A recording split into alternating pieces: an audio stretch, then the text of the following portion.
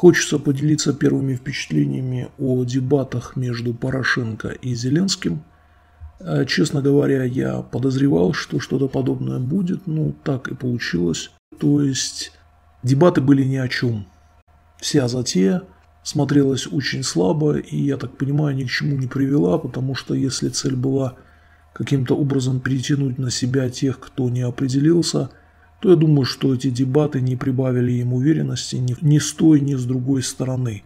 Ну, по крайней мере, вот я, как нейтральный человек, слушая и Порошенко, и Зеленского, не выбрал бы ни одного и ни другого, точно так же, как я и говорил в самом начале, то есть выбор очень сложный. Но определенно вот что можно сказать. Собрали огромную толпу народа, вышли два человека и начали прилюдно оскорблять друг друга. То есть фактически как таковых дебатов вообще никаких не произошло. Я их, по крайней мере, не заметил. Э, ну, например, Зеленский в момент, когда ему предоставили возможность задавать вопросы, просто по списку прочитал сразу 10-7 вопросов, именно те темы, о чем в основном спрашивают Порошенко. Ну, естественно, если ты задаешь сразу 10 вопросов – Понятно, что ты как бы даешь возможность оппоненту вообще не отвечать, либо, как он сказал, выберите один из них. Ну и Порошенко, что и следовало ожидать, не ответил ни на один вопрос, а как бы сделал вид, что вопросов ему не задали, и опять э, начал что-то говорить по поводу величия Украины, и мы совсем справились или справимся, и так далее. Ничего конкретного. Зеленский тоже очень слабо смотрелся. Во-первых, что заметил я, человек, не говорящий по-украински, но это было очевидно, что русский – это родной язык Зеленского, и на украинском он пытается говорить, при этом три раза так или иначе он соскакивал конкретно на русский. То есть украинский для него не родной, и в семье он со своей женой, со своими детьми, со своими родителями – говорит исключительно по-русски, это заметно. Я вообще не знаю, как можно выбирать президента страны, который плохо владеет языком своей собственной страны. Я так понимаю, английским, французским или еще каким-то он тоже не владеет. Ну, он лишний раз доказал, что человек глуповатый, и вел он себя очень скромно, я бы сказал. Ожидалось от него, ну, какое-то по меньшей мере шоу. Хотя вот этот его хрипатый голос, приветствие зала, как будто он пришел на концерт, а вы все здесь, я вас приветствую. Все это соответствовало его вот этому образу шоумена. Но даже эту роль он исполнил на дебатах не очень хорошо, то есть не президент и не шоумен, непонятно что. Порошенко тоже странно выглядел, скажу я вам, обычно спокойный, но здесь было видно, что он взвинчен, что он очень волнуется. Это чувствовалось, наблюдая за ним, как он кричит на пределе возможностей своего голоса, зачем, опять же, непонятно, как он тут же реагирует на улюлюканье публики, приближается к Зеленскому, отходит от него. То есть мне даже казалось, что он в какой-то момент ему либо подзатыльник влепит, либо еще что-то. То есть было видно, что он сдерживает себя очень плохо. А этот имидж, лично мне кажется, Порошенко не идет, потому что э, он лучше смотрится, когда он спокоен, немножко отстранен. На такого, как Зеленский, нужно было смотреть свысока. Ну, во-первых, физически Порошенко выше гораздо.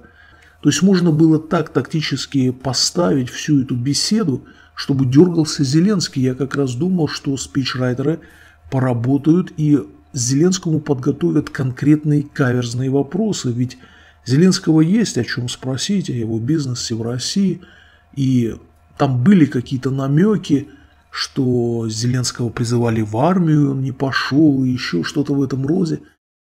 В основном речь Порошенко основывалась, так как я не наблюдал за его предвыборной кампанией, может быть это было свойственно всему периоду его выдвижения в этот раз – основывалась на военной риторике, как я и говорил, Порошенко это президент войны, который пришел к власти на военных рельсах, и он давит на эту тему, что, дескать, когда я пришел, вот ничего не было, армия была разорена, а вот сейчас, а вот спросите военных, а вот съездите в окопы, а вот мы воюем и воюем. Не знаю, может быть, Украине эта тема как раз наиболее близка, и он старается ее педалировать. Поэтому на его стороне, как я понимаю, большинство военных. Ну а молодежь и пофигисты, они, кстати, все больше составляют процент из выборщиков. Ну, во-первых, люди стремительно тупеют. Во-вторых, люди часто по приколу голосуют. Они, конечно же, за Зеленского типа посмотрим, что будет. Вот пусть придет и пусть сыграет нам на его голоборотика. Тем более, что людей несколько лет к этой мысли приучали через телевизор. Одним словом, я не могу сказать, что я разочарован, но впечатление никакое, абсолютно никакое. Все это шоу делать не нужно было. Ни один, ни второй кандидат, на мой взгляд, свое положение не укрепили. Я считаю, что это уровень несовременный. Это не к чему.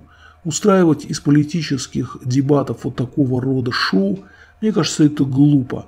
С другой стороны, Зеленский заставил Порошенко так действовать, ведь Порошенко призывал его прийти в студию, возможно, там состоялся бы другой разговор, и мне казалось, что, ну, может быть, Зеленский теперь на своей территории покажет какой-то класс, но ничего подобного не произошло.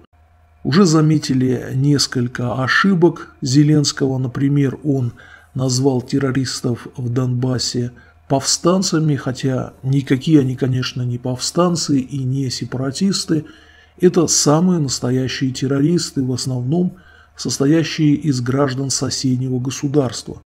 Чи є це правда, я не стверджую, чи є це правда, що цукерки Рошен є у пайках повстанців ЛНР та ДНР, пайках повстанців ЛНР та ДНР, Пайках повстанців, пайках повстанців, пайках повстанців ЛНР та ДНР. Ти своїм виборцям, що коли кандидат президенти каже, що у нас е, ЛНР і ДНР і це повстанці, то ми повинні сказати, що така антиукраїнська людина повинна зняти свою кандидатуру з, е, Дякую. з кандидатів в президент. Питання зрозуміло. Що ви будете там зі своїм місцем робити, про яке каже пан Полтава? Прошу. Ну, е, давайте кожен буде на своєму місці. і Давайте не мірятися тим, хто зробив для нації держави більше, хто зробив менше. Я думаю, що кожен робив міру своїх можливостей, і Ви при- зрозуміли за принаймні мені ви закинули. повстанці? 13 тисяч загиблих. Російських окупантів називають повстанцями. Пан Полтава, ну всіх, у всіх гарний тут слух. Как можно было допустить такую ошибку? Трудно себе представить, но я думаю, что если это будет президент Украины, то подобных ляпов будет очень много. У меня не осталось никаких сомнений, и не было уже давно, что Зеленский весьма симпатизирует России, и дальше, придя к власти в кавычках, рулить за него будут совсем другие люди, которые, скорее всего, мне так кажется, уже договорились с русскими, что историю с Донбассом нужно заканчивать. Но закончить ее нужно так, чтобы Путин сохранил свое лицо, чтобы они как бы предъявили это миру в том виде, что вот, дескать, Порошенко воевал, а пришел новый и заключил мирный договор. И вдруг раз все прекратилось, потому что Донбасс России не нужен, он им осточертил. Поток дебилов туда закончился, территорию эту окончательно разграбили, брали большинство главарей, этих, которые там находятся. И там в Донбассе идут разговоры, что с прихода Зеленского начнется зачистка именно с российской стороны, и они будут подготавливать Зеленскому якобы а, почву для того, чтобы конфликт в Донбассе прекратился. Но как он и начался с инициативы России, так и прекратится по ее инициативе, по ее желанию. То есть никакой победы украинцы не одержат, просто русские уберут своих оттуда под какие-то условия, возможно, откупятся Крымом или еще чем-то. И вот я думаю, именно это, если Зеленский будет президентом, и будет представлено как его самое большое достижение. Дескать, клоун поехал к Путину и обо всем договорился о чудо. А по сути, это будет обозначать предательство и сдача позиции Украины. Донбасс каким-то образом затолкают туда назад. Возможно, представители этих уродов посадят в Украинскую Раду. И, естественно, обдолбанные пропагандой люди будут своего рода пятой колонной в стране. В общем, перспектива, мне кажется, не самой радужной. Порошенко в своей вот этой упоротости продолжать так или иначе военные действия чисто стратегически имеет больше шансов на победу, чем вот эта вялая позиция Зеленского попытаться, ну, если не впрямую на коленях, то, может быть, как-то в полуприсядь, попросить у царя милости и на каких-то условиях закончить этот конфликт.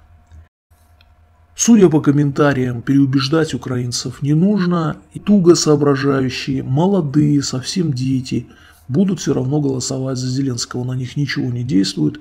Информация в последнем ролике, которую разместил инсайдер, не воспринимается вообще никак. Инсайдер обозвали почему-то путинскими, пропутинскими. Странно, ребята, инсайдер это именно тот ресурс, который несколько лет назад раскопал информацию о Буке, сбившем Боинг. И тогда почему-то Bellingcat и инсайдеру вы очень доверяли и считали «Вау!» и хлопали им с упоением. Вот, дескать, молодцы, выкладывают правду. Странное отношение. Определитесь, в каком месте инсайдер врал, или тогда, когда говорил за Бук, или сейчас. Я лично считаю, что и в том, и в том случае была правда, это принципиальная позиция этого сайта. Инсайдеру лично я доверяю. И со временем, конечно, выяснится, кто и как финансирует господина Зеленского. Поверхностно можно сказать только одно. К власти может прийти человек – плохо говорящий по-украински, презирающий по сути Украину, как мне кажется, с любовью и надеждой смотрящий в сторону России, человек трудно ориентирующийся во многих вопросах и даже, как оказалось, не очень хороший шоумен. Ну что ж, с другой стороны, если подобный президент придет, сейчас я попытаюсь пошутить, значит следующие пять лет у меня будет очень много работы – потому что критиковать его я могу бесконечно, точно так же, как это происходит в моем случае с Трампом.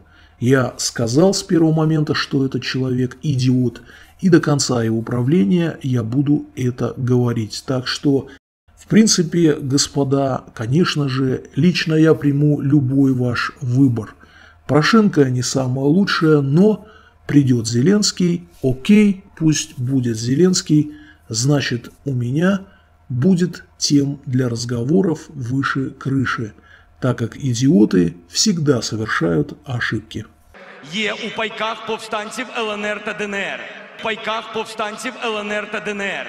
В пайках повстанців, пайках повстанців, пайках повстанців ЛНР та ДНР.